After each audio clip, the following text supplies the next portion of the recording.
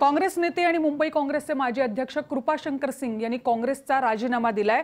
ते उद्या भाजपमध्ये प्रवेश करण्याची शक्यता आहे. त्यांच्या विरोधात बेहिशोबी मालमत्ता प्रकरणी तपास सुरू आहे. बीबीसी मराठीशी बोलताना त्यांनी आपण काँग्रेस सोडत असल्याचं स्पष्ट केलंय. मी तीनशे सत्तर प्रकरणी राजीनामा दिला. माझं मन सांगत होतं की देशासोबत राहायचं. मी योग्य वेळी योग्य निर्णय घेईन असं बीबीसी मराठीशी बोलताना त्यांनी म्हटलंय. आणि दुसरी महत्वाची राजकीय घडामोड म्हणजे उर्मिला मातोंडकर यांनी काँग्रेस पक्षाच्या सदस्यत्वाचा आज राजीनामा दिला. आपल्या सचिवांकरवी उर्मिला यांनी मीडिया प्रतिनिधींना एक पत्र पाठवलं आणि त्यात आपल्या राजीनाम्याचं कारणही त्यांनी स्पष्ट केलंय. मिलिंद देवरा यांच्याकडे त्यांनी आपला राजीनामा पाठवला आणि राजीनाम्याच्या पत्रात त्यांनी काय म्हटलंय? तर मुंबई काँग्रेसचे तत्कालीन अध्यक्ष मिलिंद देवरा यांना सोळा मे रोजी मी एक पत्र लिहिलं होतं. त्या संदर्भात सातत्यानं पाठपुरावा करूनही कोणती कारवाई झाली नाही आणि म्हणून राजीनाम्याचा विचार पहिल्यांदा माझ्या मनात आला. या पत्रात मी उत्तर मुंबई मतदारसंघात संघातील काही व्यक्तींचा उल्लेख केला होता. त्यांच्या कृत्याबद्दल त्यांना जबाबदार धरण्याऐवजी त्यांनाच नवीन पदं दिली गेली. याविषयी नाराजी व्यक्त करत उर्मिला यांनी हा राजीनामा दिलाय.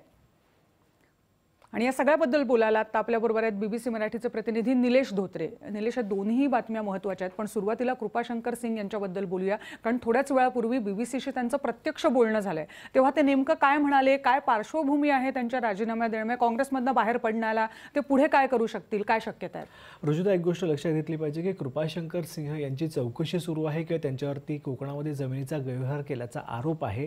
आणि त्या प्रकरणी कोर्टानं आदेश दिले होते की त्यांना अटक करा पण त्यांना अटक झाली नाही हे सगळ्यांनी पाहिलं होतं. त्याआधी पृथ्वीराज चव्हाणांचं सरकार होतं. ते सरकार बदललं. नंतर फडणवीस सरकार आलं. तर पाच वर्षातही त्यांच्यावरती कारवाई झाली नाही. त्यांची चौकशी ससे चौकशीचा ससेमिरा त्यांच्या मागे लागलेला आहे आणि त्यामुळे त्यांना सत्तेच्या जवळ राहणं सगळ्यात महत्त्वाचं आहे. त्यांनी अजून सांगितलेलं नाही आहे की ते बी जे पीत जातील की नाही. पण असं कळतं आहे सूत्रांच्या माहितीनुसार असं कळतं आहे की उद्या बी जे पीमध्ये आणखीन काही बड्या नेत्यांचा समावेश आहे जे प्रवेश करतील.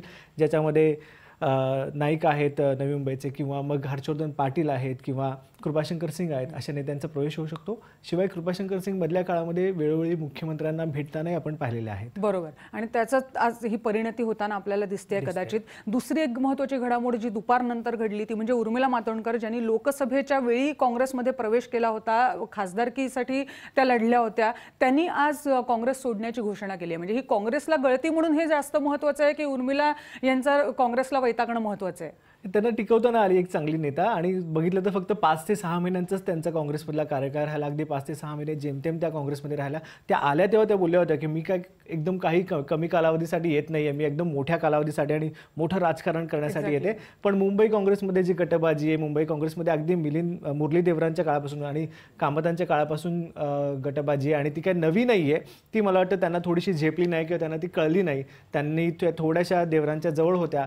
पण नंतर त्यांनी देवरांनाच लिहिलेलं पत्र लीक झालं आणि मग त्यांनी त्याच्यामध्ये म्हटलं होतं की त्यांनी अप्रत्यक्षपणे संजय निरुपमांवरती किंवा त्यांच्या कार्यकर्त्यांवरती टीका केली होती की त्यांनी मदत केली नाही वगैरे. पण जी गटबाजी आहे मुंबई काँग्रेसमधली किंवा मुंबई काँग्रेस एकदम क्षीण आहे पण तरी सुद्धा त्या त्या परिस्थितीमध्ये त्यांना उर्मिला मातोंडकर सारख्या चांगल्या चेहऱ्याला हे सगळं निवडणुकीच्या वेळी झालंय हे मात्र नक्कीच वाईट आहे. खूप खूप धन्यवाद निलेश या सगळ्या चर्चेसाठी.